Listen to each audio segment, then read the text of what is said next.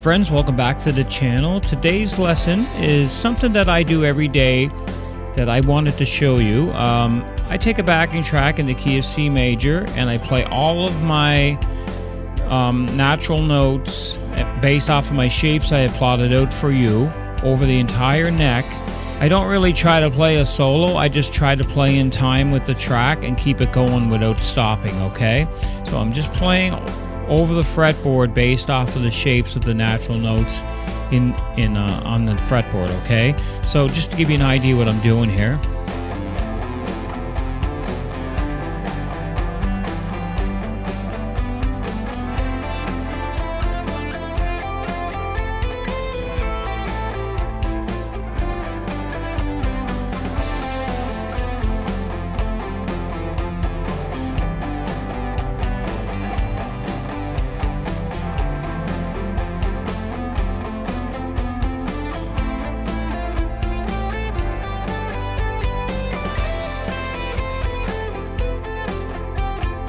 I'm just going in and out of these shapes.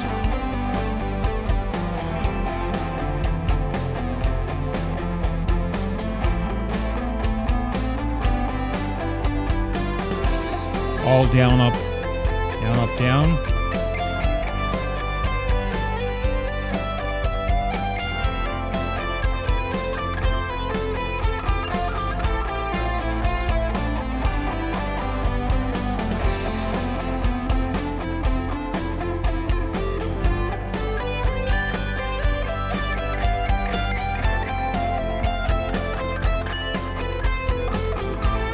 It's a great way to uh, get yourself familiar with your fretboard, okay? And you'll learn all of the natural notes and eventually you'll know where all of those natural notes are in your fretboard, okay? It's going to really help you with the other keys and anything you do with guitar, basically, okay? So this is a great exercise to uh, put into your practice routine, okay? So that backing track right there, I'll link it in the description uh, in the comment section of this video here, okay? So once again, guys, this is just something that I do every day, and hopefully it'll help you as well.